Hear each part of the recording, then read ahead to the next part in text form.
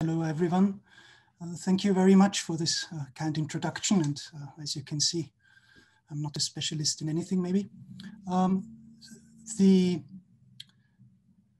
opportunity to speak here uh, is something I'm very grateful for. Uh, I'll actually start sharing my screen, sorry.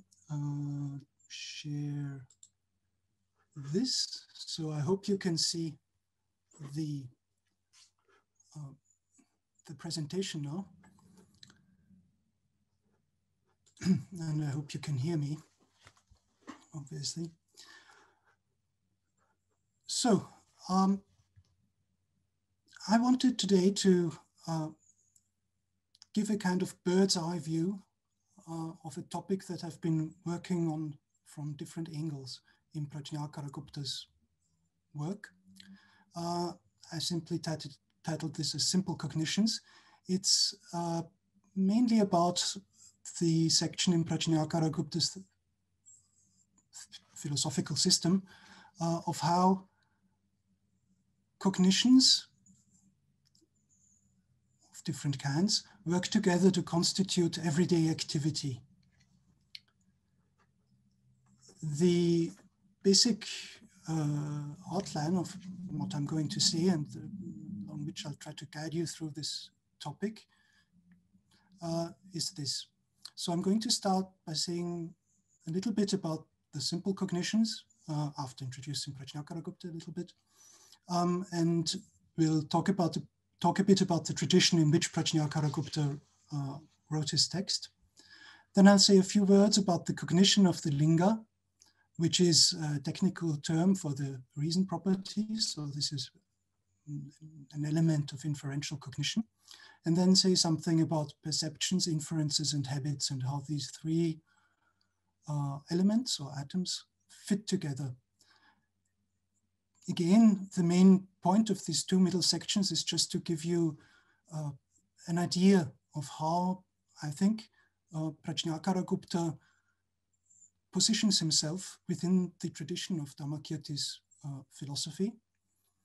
And to some extent, um, provides an interesting model, uh, a very systematic account of uh, certain elements in Dharmakirti's theory. Um, and then I'll just conclude. So basically three steps and then we're at the end, quite simple, I hope. So let's start by looking at simple cognitions after we've uh, come to grips with who Prajnakara Gupta is. Um, he's an a Buddhist who lived in India between 750 and 900 uh, of the Common Era. He is from northern India, either from Kashmir or from Bengal area. There are different accounts, but apparently no, no, no association with South India. Um, according to Tibetan accounts, mostly Taranatha, he is a layman, so not a monk, uh, he is best known to us, or scholars of Buddhist philosophy at least, um, as the author, author of the Pramanavartika Alamkara Bhashya, a text whose title is a bit tricky. Sometimes it's just called Pramanavartika Alamkara, sometimes Pramanavartika Bhashya. Um, but I chose this uh, today. That's also what you find in the manuscript.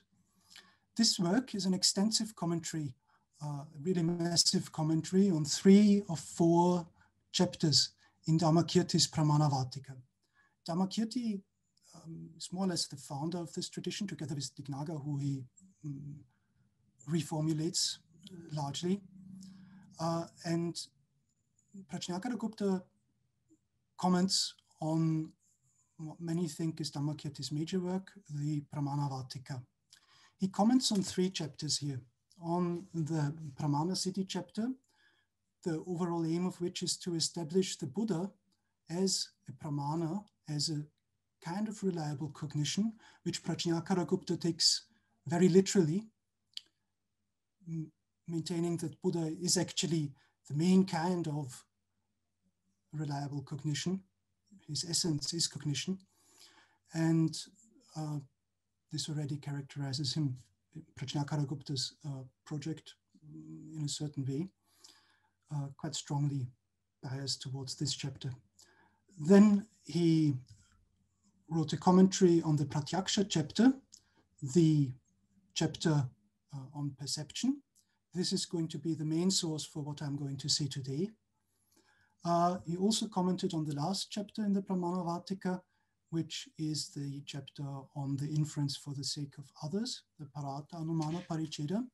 And he did not comment on the first chapter, the Svartha Anumana chapter, what is traditionally held to be the Svartha Anumana, uh, the first chapter, the inference for one's own, own sake. Dhamma, this is the only chapter that Dharmakirti had himself composed a commentary on. Prajnakara Gupta is uh, influential uh, in certain respects. He clearly influenced the circle of scholars around Jnanashri Mitra uh, a few centuries later in Vikramashila, a large Buddhist uh, monastery, monastic university. Uh, and Jnanashri Mitra there refers to Prajnakara Gupta as the main authority after Dharmakirti always on the Chitra Advaita Vada, the theory that uh, cognition has an object which is um, variegated chitra, yet non-dual. Uh, and uh, Prajnakaragupta also mm, was discussed and criticized, of course, by non-Buddhists. And the earliest one to receive him and to quote him uh, seems to have been Bhasarvajna in his Nyaya Bhushana. So uh, he's a Naiyayika. That's perhaps enough to uh, about the historic context.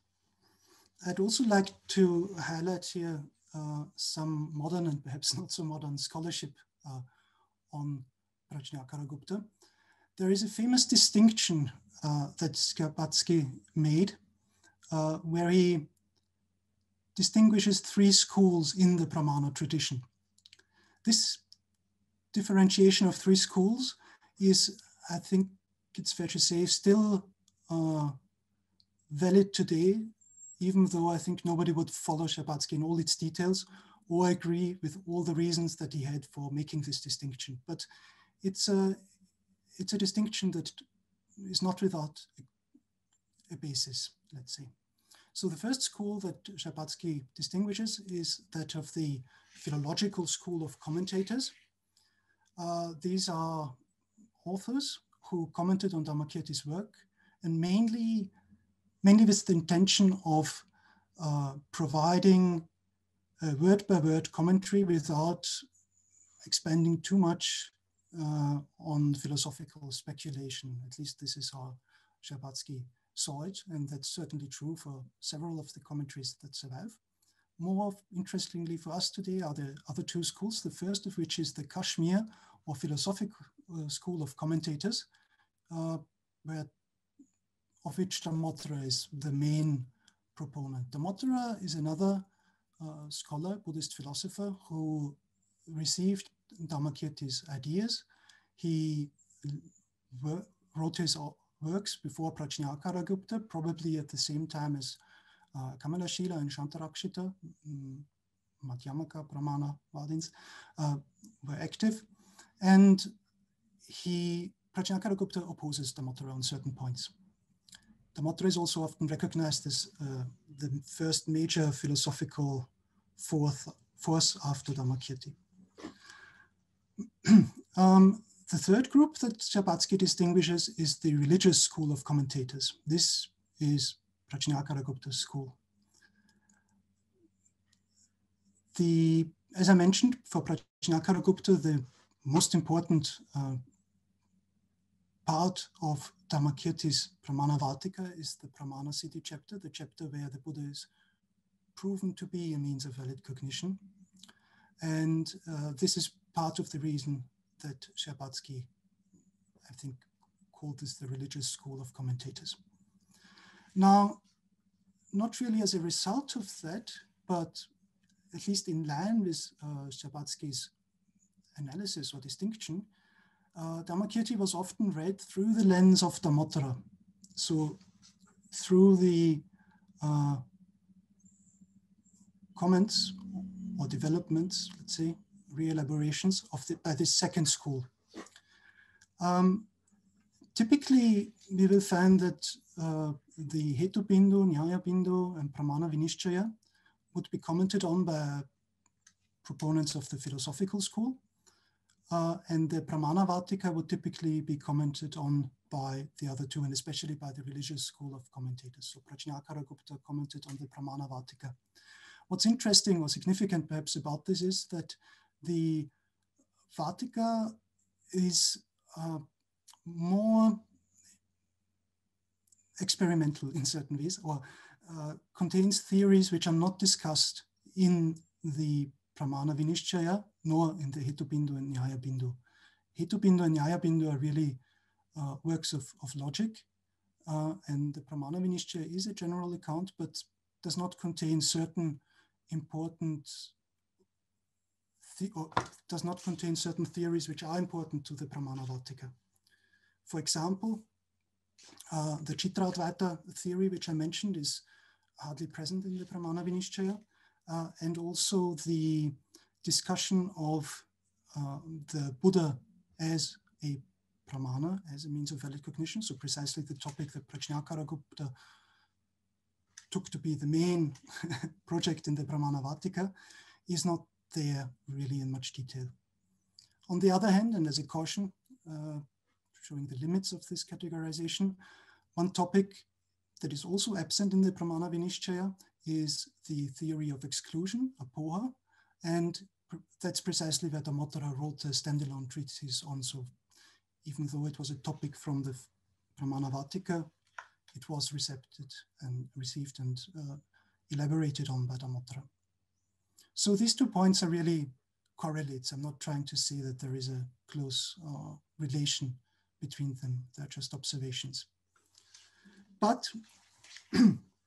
the reason I'm saying this is that perhaps this way of, uh, or in this situation, it's possible that certain avenues of interpretation, let's say, have been missed for Dharmakirti's work. So I'm not trying to say that uh, Dharmakirti was misunderstood or something like that. Uh, it's just that possible other interpretations might not have been so obvious. Just to give you one example, uh, this is a small quote from Dreyfus uh, on Dharmakirti's account of everyday activity as based on reliable cognitions, which is also the topic that we're going to focus on in a moment. And Dreyfus says, with my emphasis added, quote, I show that given Dharmakirti's theory of perception, it is difficult and yet necessary to exclude memory from the sphere of validity. Perception in isolation cannot provide useful knowledge unless it is supplemented by perceptual judgments, which are nothing but memories induced by previous experiences. Hence, memory is necessary to perception, and yet it is not valid. End of quote. So this is really, um, I think, a general assessment, uh, which is presents a theory in Dharmakirti, uh, which to some extent uh, has features, as I'll show later, uh, that mainly derive from Dharmottara, Dharmottara's interpretation of Dharmakirti's work. Dharmottara is here the gold standard, particularly I'd like to say uh, the necessity of uh, excluding memory and things like that, and this simple one of the simple cognitions from the sphere of validity, so from being means of valid cognition in and of themselves. This is often called uh, the perceptual judgment, the judgment following perception and allowing a, which helps perception fulfill a certain function, but is not itself as important or greater cognition as perception. Um, and the main argument that Dharmottara brings in his um, elaboration again and again of, of theory is that this perceptual judgment or these small auxiliary cognitions uh, can't be pramanas, can't be pramanas because they grasp what has already been grasped. They don't show a new object. Now, in order to understand this properly, we need to know how Dharmakirti uh, um, characterizes validity or what it is to be a means of valid cognition. And here he has two uh, criteria. Avisamvadana, so that a cognition uh, must be not or must not belie, must be reliable, it's often just a synonym of this, or that it shows you an object which has not yet been cognized or which is not yet known. So it must show you a new object. Now, Dharmottara's usage of Grihita Grahana, of this idea that grasping something that has already been grasped, uh, is obviously in line with the second uh, criterion that Dharmakirti here mentions. By the way, this criterion is uh, also accepted by the Mimamsas and my teacher Helmut Krasser uh, has, I think, quite thoroughly shown that Dharmakirti here adopts a Mimamsaka um, criterion and shows how it fits into his system. But it's not so important. Important is that the notion of Grihita Grahana mainly serves as an as a negative criterion. It excludes conventional cognitions or memories, things like that. And it restricts pramanya to cognitions of an unknown particular. So that for Dharmakirti, only inference and perception are actually means of valid cognition. Uh, in later interpretations, starting soon after Dharmakirti, well, at least with Dharmottara's analysis, Pramanya is uh, analyzed also as the capacity for activity that leads to the attainment of a certain goal or object. Um, now, as I mentioned, I referred before to Helmut's work also. Uh, he, I'd like to quote him here. I've not yet been able to locate a passage in Dharmakirti's works where the validity of perception or inference is derived in terms of ajnata artha. So this second criterion, uh, even that is used mainly in a negative, uh, as a means of excluding things. So if you, the cognition doesn't the, fulfill this criterion, it gets disqualified as a uh, pramana. This is an idea that is not all that prominent in Dharmakirti. For example, it occurs at the beginning of the Pramana uh, Siddhi chapter in the Pramana Vartika. So already in a text which is typically uh, grouped in the a favorite of the religious school of commentators, we follow uh, phrase. Um, and here, cognition that concerns the conventional sphere is not assumed to be a means of valid cognition, we have to add, because it grasps what has already been grasped. The locus classicus is maybe in the Hetubindu. Uh, for this, uh, where he said, Dharmakirti says that remembering smriti or cognition assisted by memory is not a means of valid cognition uh, because anadhigata vastu rupa because again, this is a different formulation. It doesn't cognize uh, a real thing that is not yet known. Um, then again, in the Vinishchaya, there is a passage that Birgit Kellner, in an article from 2004 already, has drawn attention to. And there too, the idea is leads to a negative uh, statement. So I think it's still true what Krasser said in 2001 that the Grihita Grahana or Ajnata Artha Prakasha, it's positive formulation, uh, are not um, criteria that fully characterize a means of valid cognition. Now, the situation changes quite a lot uh, with Dharmottara. He uh, says, or tells us, that perceptual judgment uh, is necessary for any pramana in order to enable activity. It becomes a systematic requirement in the Dharmottara's work. Uh, this might be one reason why uh, Abhinavagupta, for example, says that uh, Pramanya or attributes this idea that Pramanya validity depends on determination, Adhyavasaya, uh, which McCrea has drawn attention to and um, found that Abhinavagupta attributes this position to Dharmottara.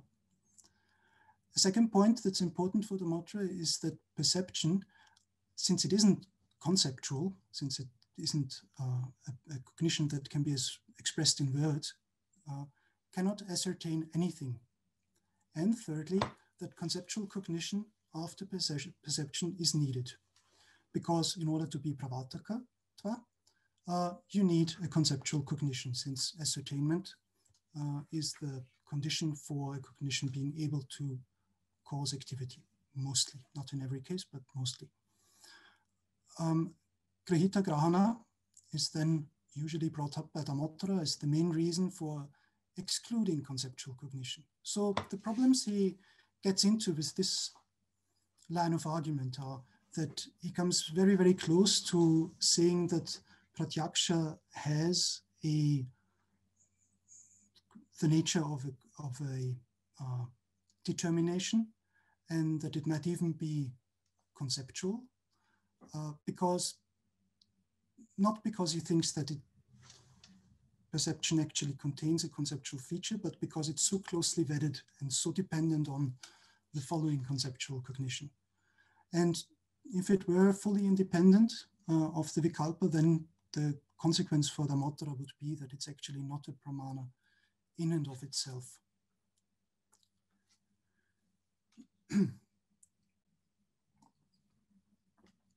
Prajnakaragupta differs very strongly from the Dharmottara on this issue. He shuns uh, the systematic requirement of Grihita Grahana arguments and tries to really get around them. So, uh, and tries to avoid them as much as possible. Uh, that's at least my impression.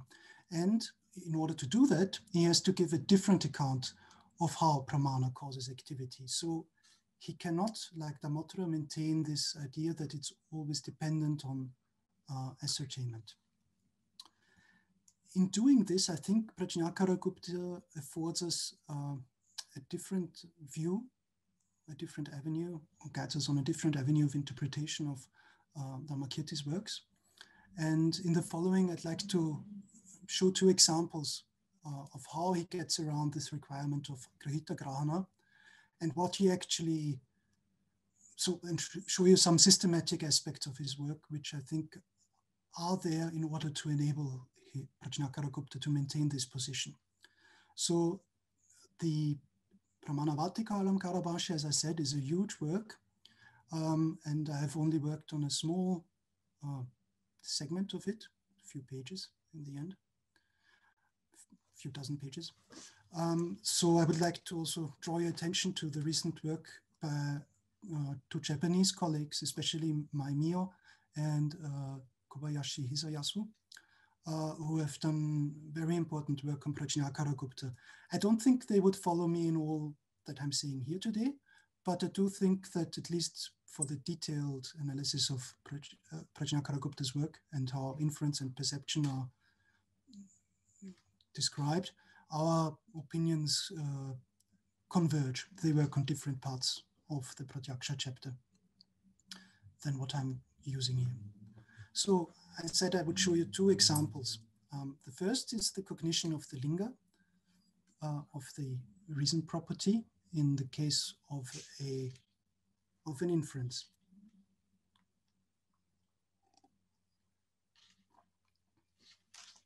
And this is a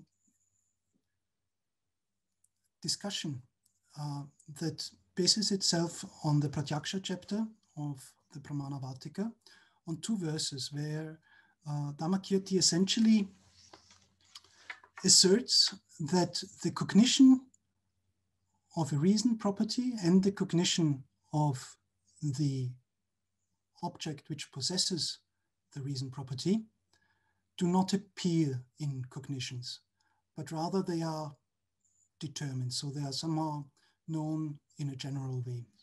That means their cognition must be conceptual.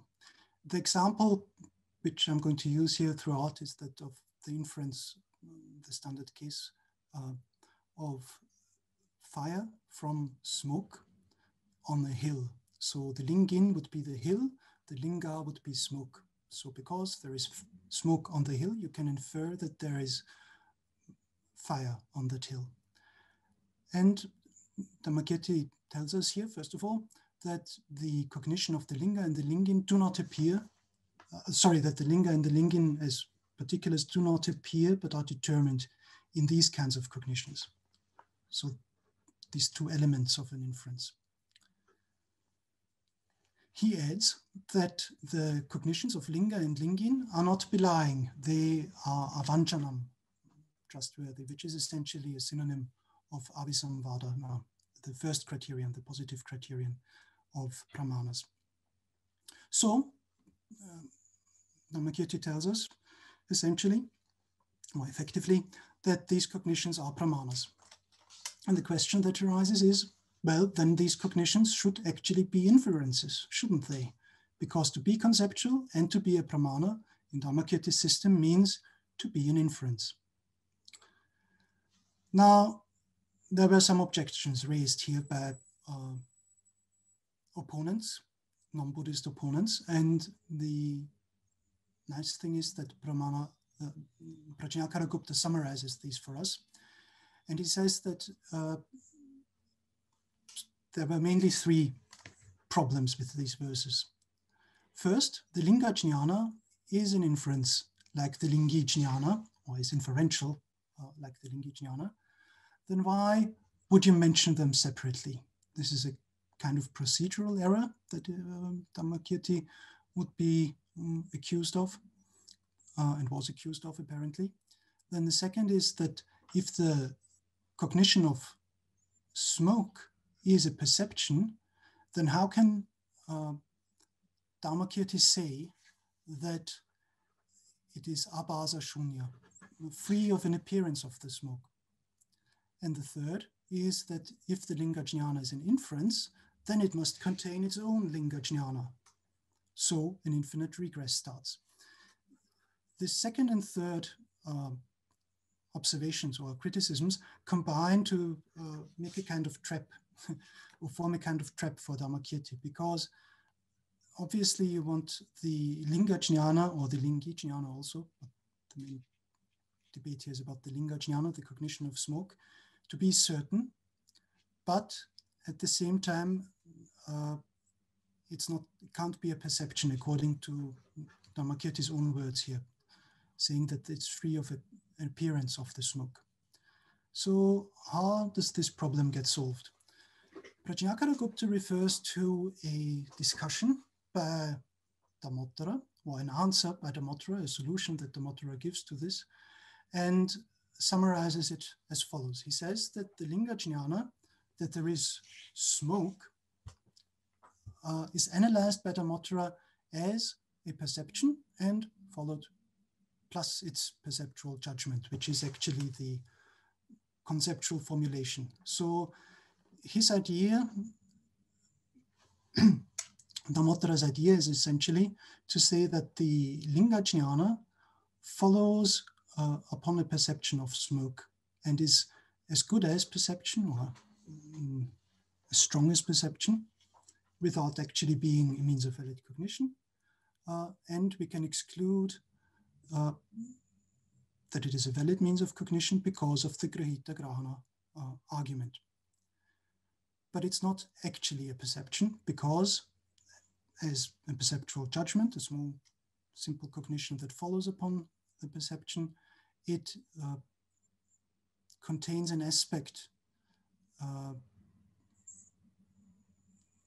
that cannot be conceptual, namely that it uh, presents the smoke and so on as connected, in this case to the lingin, but actually you need to know various things about smoke so that the cognition of smoke becomes a proper uh, cognition of the reason property, of smoke as a reason property. this is the summary of the Dharmottara's solution. Now, Prajnakaragupta disagrees uh, with this and says that the problem is actually still not solved if the linga is essentially smarana, so this perceptual uh, judgment which follows, then we can't properly call it avanchaka. We can't really say that it is trustworthy like the perception. That's uh, not permitted to just transfer this pramanya, the validity, to the following cognition. Again, the differenti the reason why Dharmakirti differentiates these two cognitions is not obvious if both of them um, are conceptual cognitions or actually inferences in the case of the Lingijnana. Oops. And the third problem uh, is that if you were to try to maintain basically the solution of the Dharmottara's and then say that this uh, perceptual judgment, which says there is smoke, uh, is not a pramana because of grihita then you'd end up with the fact that just the perception before it is the pramana. And again, you would fall back into the problem that Dharmakirti explicitly says that the linga jnana is um, a, not a perception because it's free of the appearance, tadabhasa shunya, of the linga, of the smoke. So we need a better solution. And this is what Prajnakaragupta seems to provide here. First of all, he solves the problem uh, of the of why Dharmakirti speaks of the linga and lingi cognitions as separate by referring to the differentiation of two kinds of reasons that uh, Dharmakirti accepts, namely the Karya Hetu and the Svabhava Hetu. And he says that the Karya, uh, an inference based on an effect, like in the case of smoke and fire, that in that sort of inference, the cognition of the linga and the lingi are actually not of the same object. And therefore, it's fair to mention them separately. It's good enough for as a reason for Dharmakirti. Then, slightly more interesting for our um, purposes is that he does, in this instance, classify pratyabhijnana, which is his way of expressing or pratyabhijnana as recognition, is what does what smarana or smriti does for, in the Dharmottara's model. And uh, Prajnakaragupta says that this is an inference. Let's just accept it. It has to be, otherwise we'll never get out of this uh, problem that the opponents raised against Dharmakirti. Otherwise inference will never be certain. He says, and he adds, that there is not actually an infinite regress in this case, because under certain circumstances, atyanta abhyasat, if there is uh, extreme or strong, um, perfect uh, habituation, abhyasa, then perceptions can cause activity without another inference. So this is the first time I think we're seeing this abhyasa notion, which together with pratyaksha uh, allows Prajnakaragupta to maintain that pratyaksha causes everyday activity. Vyavahara, which for Prajnakaragupta is activity which is, that is directed at external, extramental objects. so in the end, uh, Prajnakaragupta's idea here is that he does not think there is a need for the argument of perceptual judgment coupled to a subsequent exclusion of it as a means of valid cognition. And the model that he proposes to explain inference is then that this one element of inference, um, the cognition of smoke, is that he says pratyaksha and abhyasa together uh, allow us to explain the linga jnana without a conceptual cognition that ascertains the linga, the smoke. So essentially on uh, Prajnakaragupta's model, if Pratyaksha is coupled to Abhyasa, we can jump directly to the Lingi Jnana. If Abhyasa is absent, so this is supposed to be a subtraction sign, uh, then Pratyaksha actually needs a Vikalpa that ascertains the Linga, and this is simply Anumana, because that's the only one, um, Vikalpa that can ascertain things uh, validly, good in, in, a form good enough for another inference. In this sense, I think um, Prajnakaragupta tries to get around the requirement for Grihita Grahana. Um, the number four is perhaps not so pertinent now. Uh, so this is the end of the first um, step, basically. The results so far, uh, I think, are that, or should be, I hope I've convinced you, is that Grihita Grahana is not systematically relevant for Prajnakaragupta. We just saw that he can give a good account, or an account at least, uh, of the elements of inference, especially one problematic one, the cognition of smoke or the reason property, without having to uh, use this reason for excluding a potential ascertainment of the smoke. And we've seen that in order to get there, he needs to posit that perception needs habituation to be a pramana as far as external objects are concerned, vyavahara karanam. Uh, this is not particularly revolutionary, I would say. Uh, there is a solid basis of, of perceptions that um, occur together with habits, coupled with habituation and which immediately lead to certain um, behavior. This is um, clear in Dharmakirti's work, and even Dharmottara uh, accepts this. The point is that Prajnakaragupta, uh, by refusing to follow the Dharmottara on this Grihita Grahana road, has to give more importance to perception plus habituation. So the next questions we should look at is what the role of habituation actually is. Here, um, we saw that it's this requirement uh, for linga jnana when that is done by perception. Uh, and what exactly is the relation of perception and inference? We saw that Prajnakaragupta thinks he can get out of the circle. There is no anavastha, no infinite regress.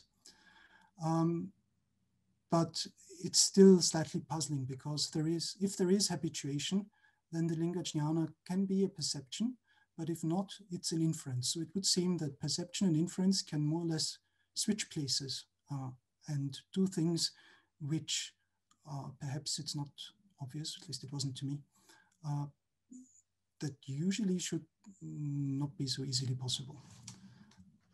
Uh, okay, so with this, um, I'd like to have a look at the relation of perception, inferences, and habits.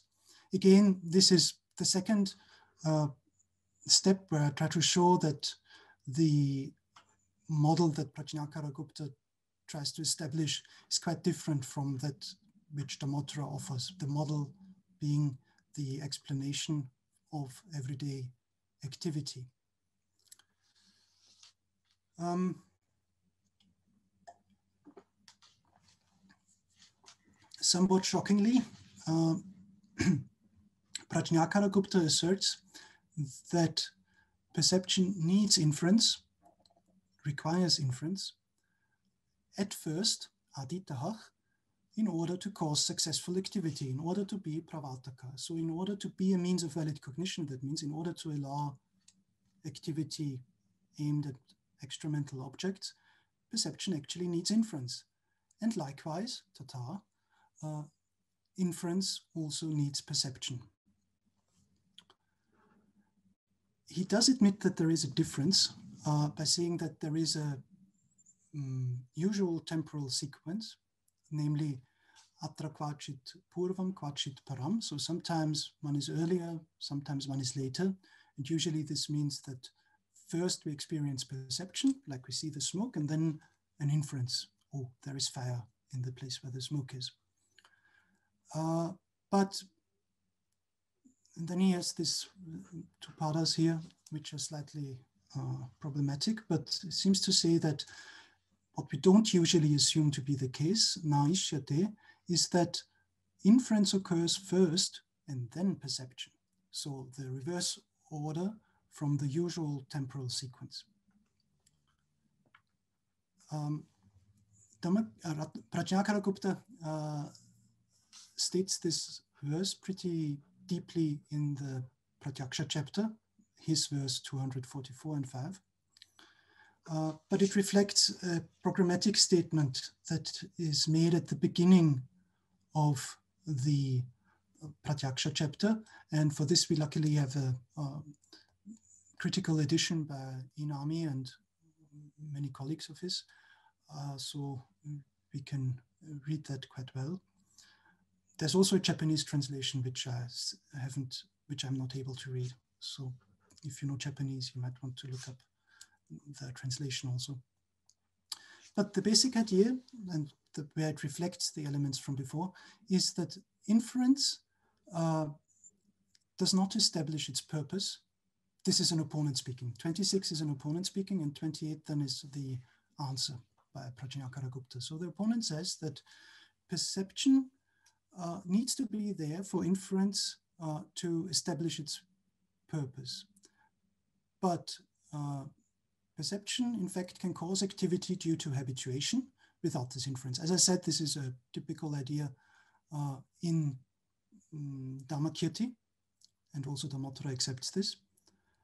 Uh, and interestingly, Prajnakaragupta says that he has, in the prose above uh, stated here, that without abhyasa, there is no validity for pratyaksha. This is the idea we've seen before. Uh, and means that pratyaksha would only actually be, for example, in the cognition of smoke, enough to found an inference if there is abhyasa. And therefore, Tato, um, Prajnakaragupta concludes, inference is the main element there.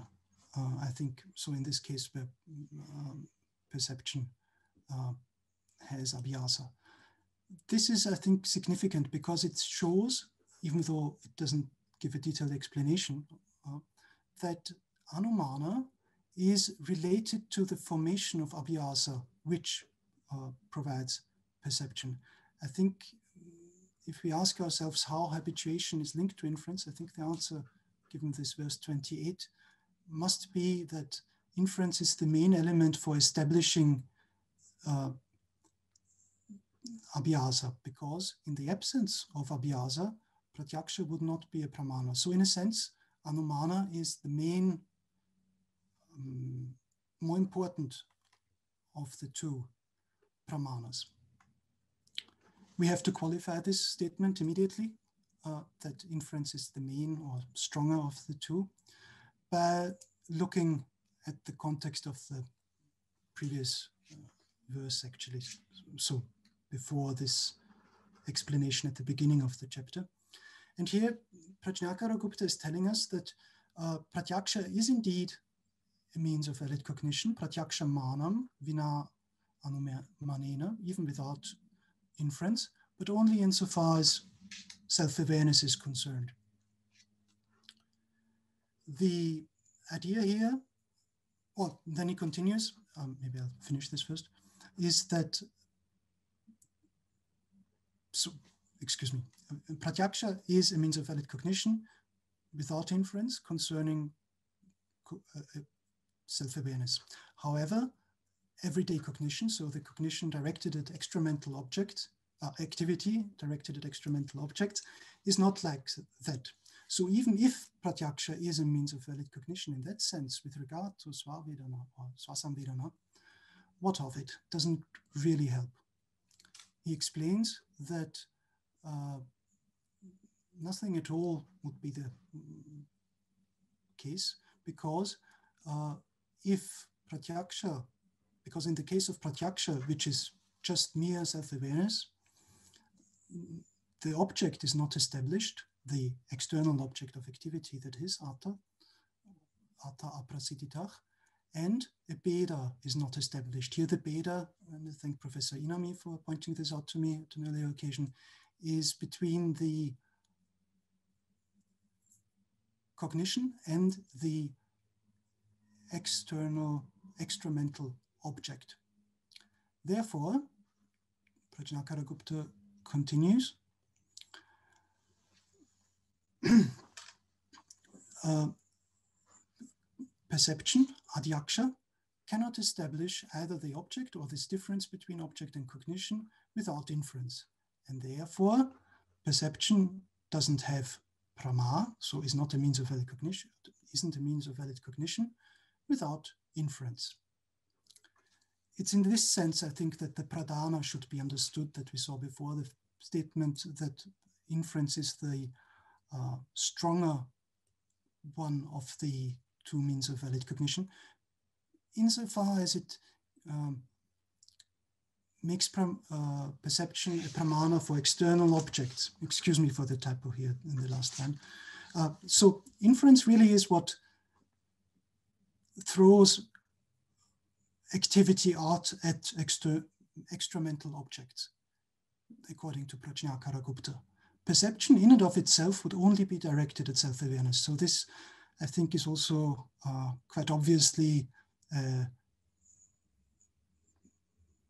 Yogacara or Vijnapti Matrata position, the uh, strongly idealist position, and is very much in uh, harmony with the other aspects, many other aspects that we know of Prajnakaragupta's work. In fact, he says, in the case of perception, Advaitam avashishyate, only Advaita, non-duality remains. We have no notion of object and cognition as separate. to add to this, the um, opponent asks, all right, so if I, if I were to admit this, then certainly Anumana could be a means of valid cognition even without pratyaksha. And surprisingly, or to reinforce the mutual dependency between pratyaksha and anumana, Prajnakaragupta denies this and says that inference uh, indicates a fire. So I'm uh, supplying the examples uh, without revealing the precise place. And it is perception that lets you know the place of the actual fire. The example that he gives us in the prose following this verse, the Prajnakaragupta mentions, is that of a fire behind a wall and you see the uh, smoke rising up above the wall. Now you can infer that there's fire, but you cannot know where the fire is precisely. And so you have to walk around the wall and see it. Uh, that's a very simplistic uh, sorry, it's probably due to my interpretation or understanding of this, but this is one case where inference is said by Prajnakaragupta to depend on subsequent perception. There are one or two other cases where he says this, but they're further removed and uh, I might not go into them too much. Uh, we're nearly at the end of the second uh, group of statements, but we should also remind ourselves that uh, for Prajnakaragupta, the object of valid cognition is actually the future particular, both for uh, inference and for perception.